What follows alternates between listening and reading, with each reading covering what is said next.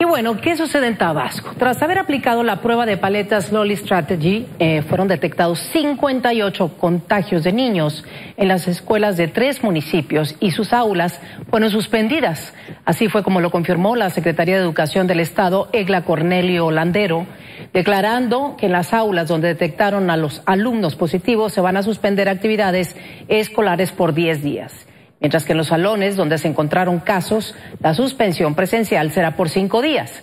La funcionaria reiteró que las escuelas no se van a cerrar. Precisamente para hablar sobre estos casos que se han detectado en los planteles con esta estrategia específica, tenemos en la línea a Gibran Rubio, el coordinador internacional de Loli Strategy. Y pues te saludo con mucho gusto, Gibran. Gracias por estar con nosotros. ¿Cómo estás? Buenas tardes gracias por la invitación. Buenas tardes. Platícanos un poco del procedimiento y qué resultados ha tenido esta estrategia específicamente en algunas escuelas del estado de Tabasco. Sí, bueno, el procedimiento es, algo muy sencillo. Nosotros le damos un hisopo al niño para que él juegue con él en la boca como si fuera una paleta, de ahí el nombre Loli, y se deposita en un tubo colector todas las muestras de un grupo de clases.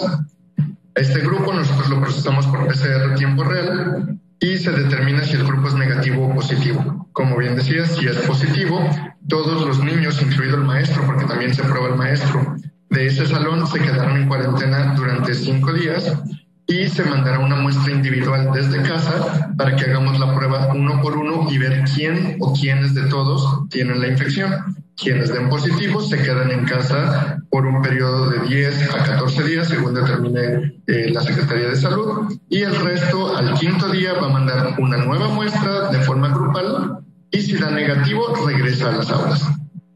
se les está dando el seguimiento completo a los casos que en primera instancia resultan positivos con esta eh, pues imitación de una paleta, entendemos que es un hisopo, que introducen en la boca para que los niños no tengan, digamos, ninguna molestia por la prueba. ¿Y cuánto tiempo tarda este resultado, Gibran? Y que nosotros nos llegan las muestras, digamos, si hoy fue día de muestreo, nosotros tenemos el compromiso de a más tardar mañana a las 7 o 6 de la mañana, previo a la apertura de los centros educativos, reportar el resultado para que conozcan cuáles grupos son los positivos y no lleguen a la hora.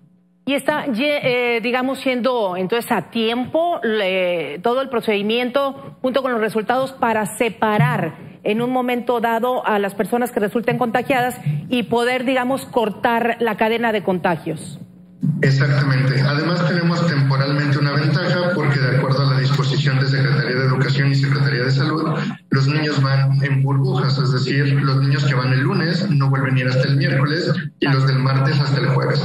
Eso nos da un poco más de margen por si hubiera algún desfase en no reportar a tiempo todos los resultados a las 6 de la mañana. Tenemos todo el día sin problema porque esos niños no irán a la escuela.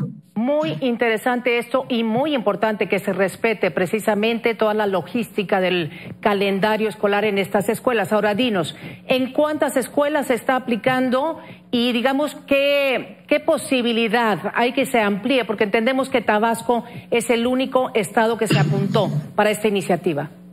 Sí, actualmente son 394 escuelas de estos tres municipios, Teapa, Tacotal y Jalapa, aquí en el estado de Tabasco, las posibilidades de ampliarlo son eh, totales.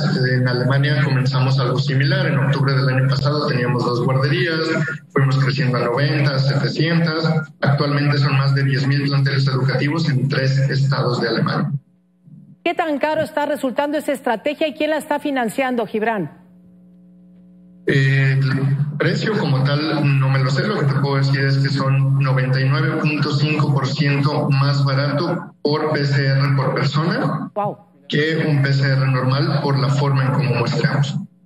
Wow. ¿Y eh, qué es, eh, digamos, quién, quién financia, de dónde salió eh, la idea, cómo es que se llegó con el gobierno de Tabasco y la aceptación de la estrategia?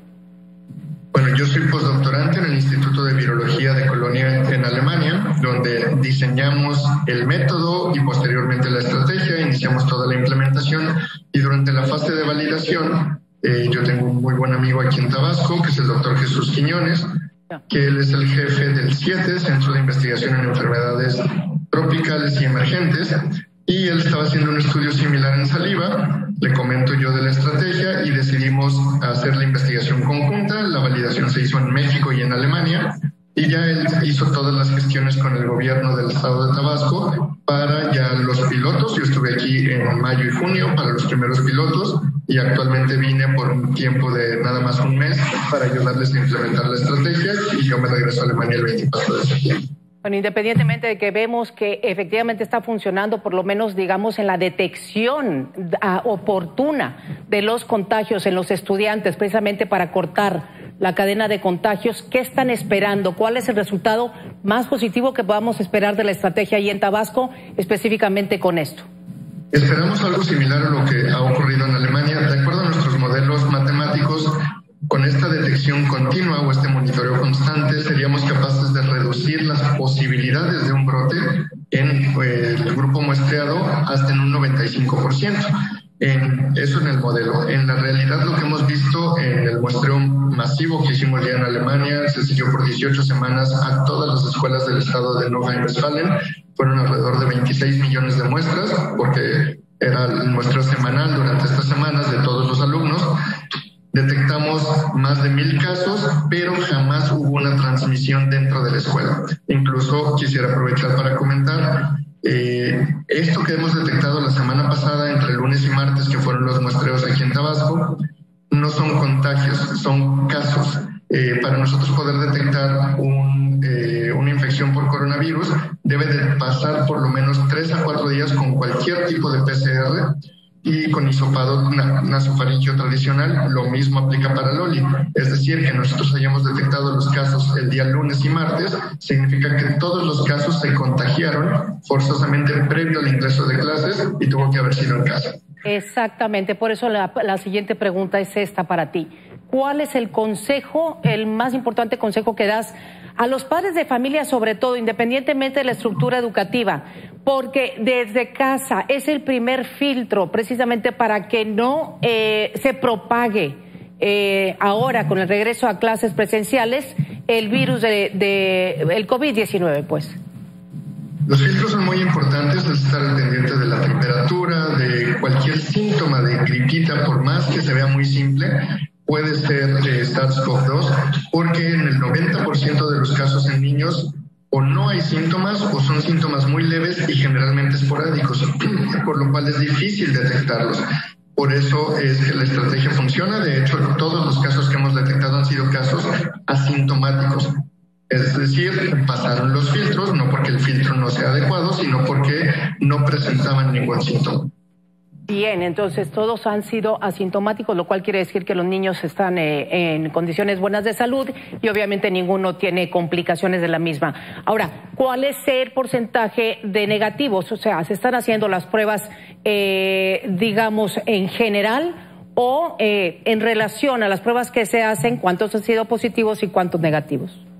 El 99.8% ha sido negativos y el 1.2% positivos. Excelente. Bueno, pues excelentes resultados, Gibran. Ojalá que se pueda establecer este tipo de estrategias, no solamente en Tabasco y en estas escuelas, en estos municipios, que son cuatro, entiendo, sino que se vaya extendiendo y la posibilidad de que los gobiernos volteen a ver este tipo de, estrategias precisamente para ayudar, sobre todo en la salud de los niños y cortar de plano las cadenas de eh, contagios de COVID-19. Gibran, te agradezco muchísimo, nos hayas explicado y hayas conversado con nosotros hoy.